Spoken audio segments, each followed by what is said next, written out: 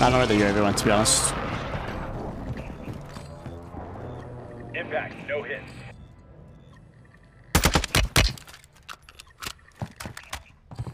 Hostile UAV in the area.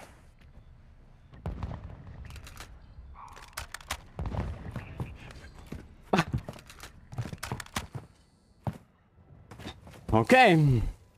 Oh, there goes another YouTube video. God damn it. That's another YouTube video.